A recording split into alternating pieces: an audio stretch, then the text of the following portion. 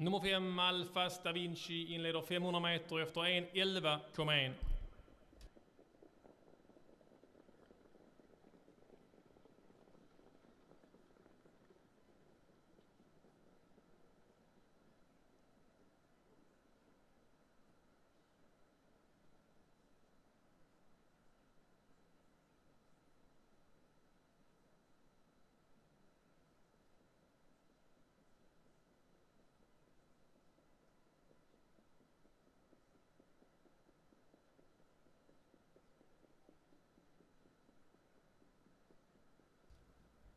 Samme Alfa Stavinci kom upp till första varvet på 1.12,9.